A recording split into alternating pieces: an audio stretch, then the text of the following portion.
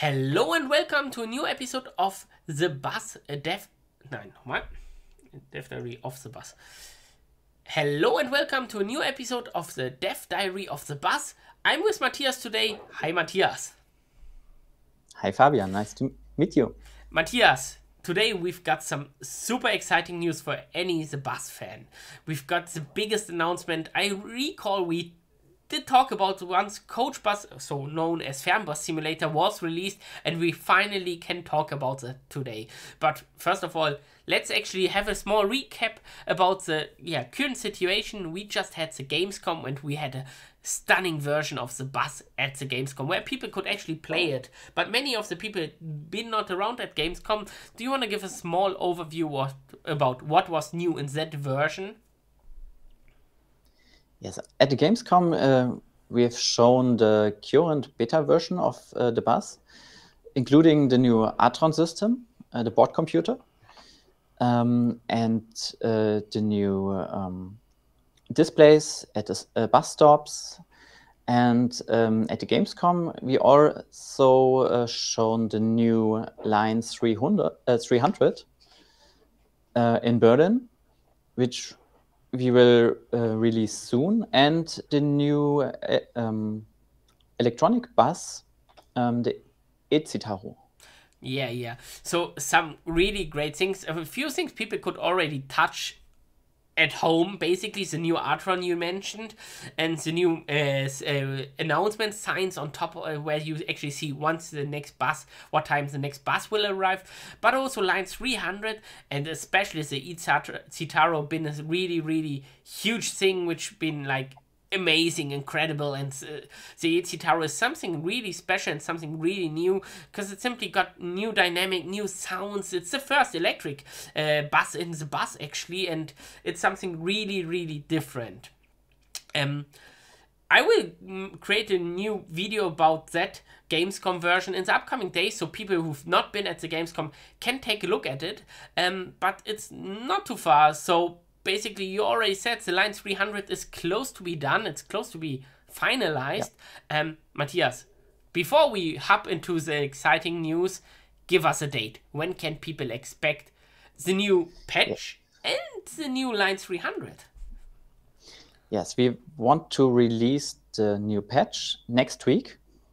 And uh, one week later at the 15th september we want to release the line 300 Cool, so people don't need to wait any longer to get their hands on Line 300. They can watch it in the upcoming video, but later on next week they already can start playing. Oh, actually in two weeks they can hop on and play it. Um, but enough talking about Line 300, buses, Gamescom, etc. Now let's talk about the serious stuff. Mathias, modding tools. The modding tools are finally yeah. close to be done. People are close to get their hands on and we've got some footage about that. And we're gonna talk today about the street modding.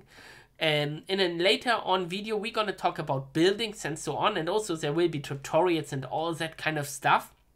But today we decided to focus on the street modding. So give us a short overview. How will the modding tools look like? And what's this actually about street modding street creation? Yes. Um, when we will release the modding tools, the first step, um, you will be able to create new cities, new maps for the bus. Um, and in this uh, first step, it will include a new uh, street tool. Um, so you can um, create a new map and then download a satellite mesh directly in the Unreal editor and start building um, streets without any external tools. So you can um, build your um, your streets and uh, your um, sidewalks, etc. Right? Sidewalks, uh, genau, and and um, the street markings all in the editor. So the Unreal editor basically to my understanding as a complete noob to modding etc i will don't go download the free unreal editor the, from the epic store. Then integrate your tool set into it.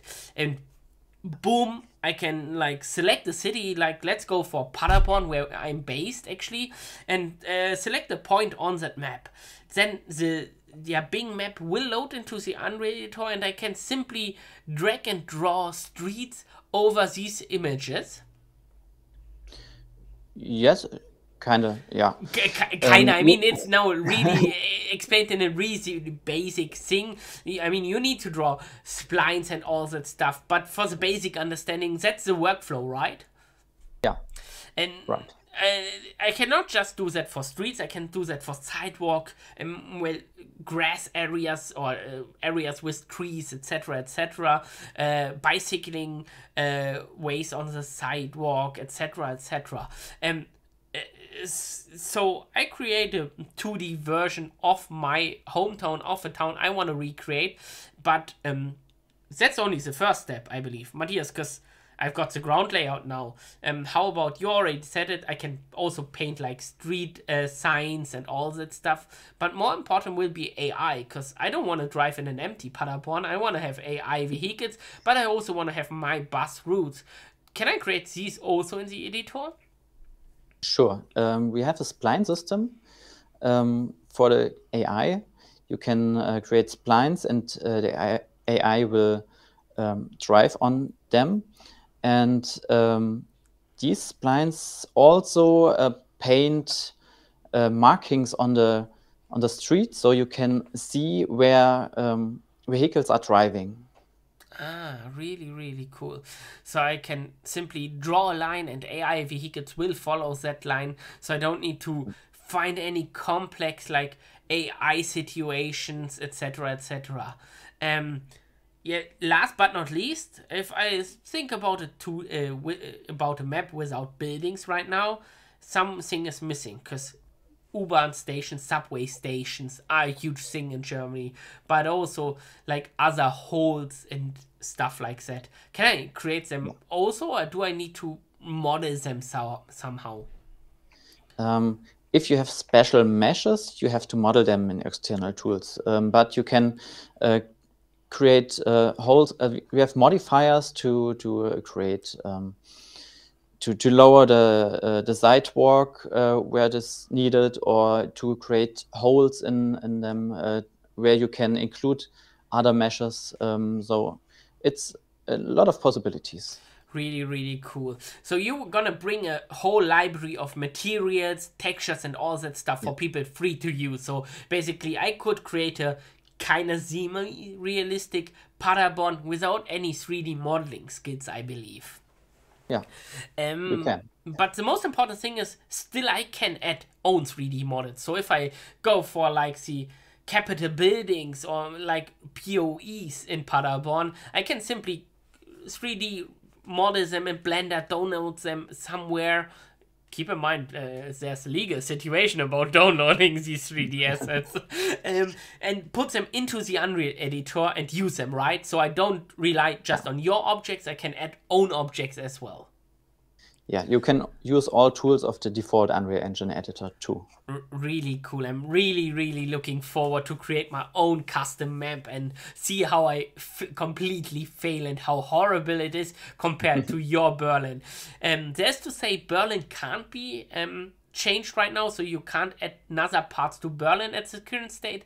It's fully yeah. focused on other cities. It's fully focused on other basically countries. So it's not just limited to, to Germany. You can also create Paris or something like that if you're likely to do that.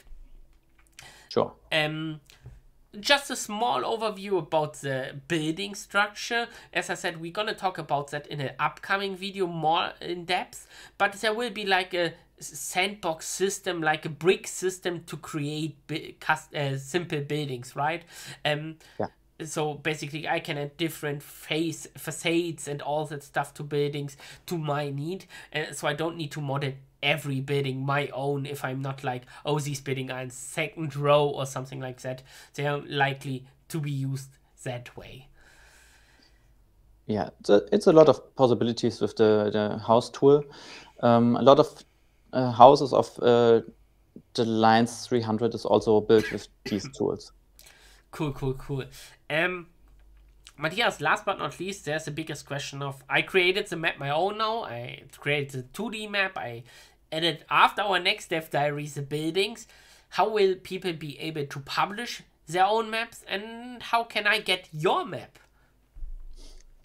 Yeah, um, when you build a map in the Unreal Editor, there's a button where you can uh, start the build process. So um, the editor files will be uh, converted to a playable um, file, will be packed to one file, and um, then you can start the game on Steam, and you are able to activate the mod in the uh, game and uh, play it and also upload it from the game to the Steam workshop.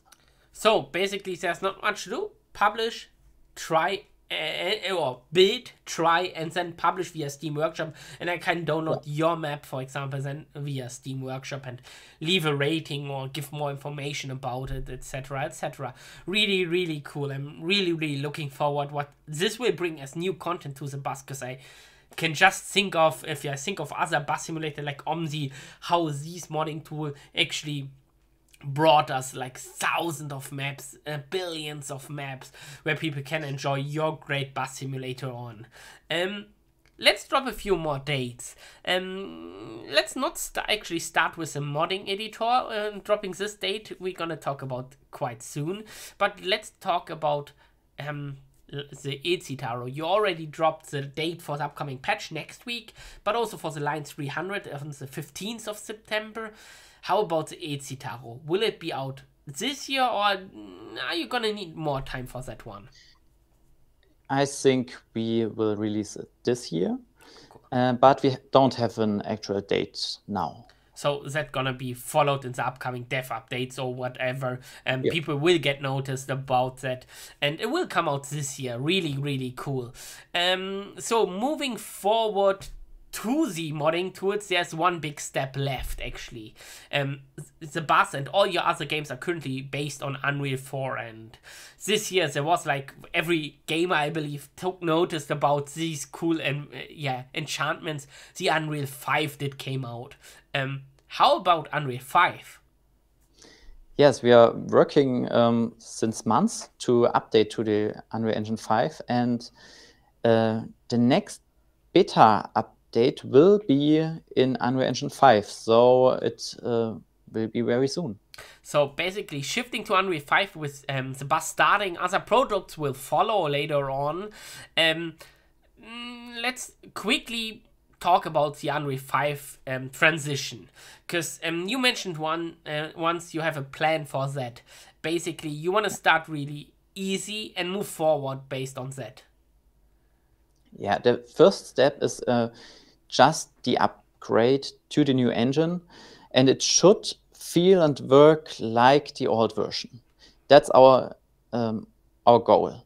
So um, we will update to the Unreal Engine 5 and later, if it's um, all working, we will use new features um, and um, enchanted basically. possibilities. Yeah. So basically the update will first come people shouldn't notice any different not performance wise might not graphic wise also drive dynamics because the big thing is like the new physics engine in unreal 5 which you needed to adjust to and that's why we're rolling out it in the beta. So people can first try it and feedback us is it really as good as the old version or do we need to adjust anything on that one? Um so that's why it's coming out at beta and gives you guys time at tml to adjust these things.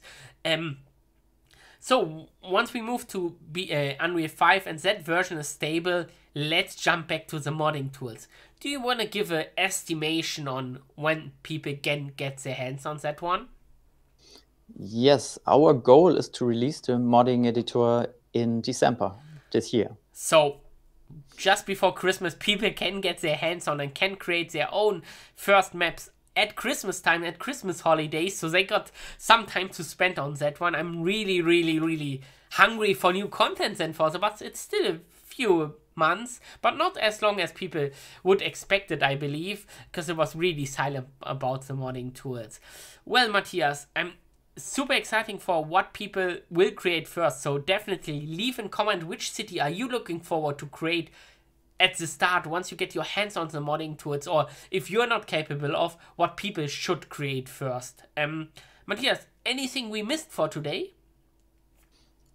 I think it was a lot of information now, and um, I think it's all. Yeah, I think also think we covered it all. Well, um, uh, I'm super happy that you gave us this announcement finally about the modding tools. People definitely should leave in the comments their yeah their most looking forward city in the bus. And um, also feel free to like and subscribe. Mathias, thanks for your time. Thanks for your time. Then see you soon in the next dev update. Bye bye. Bye.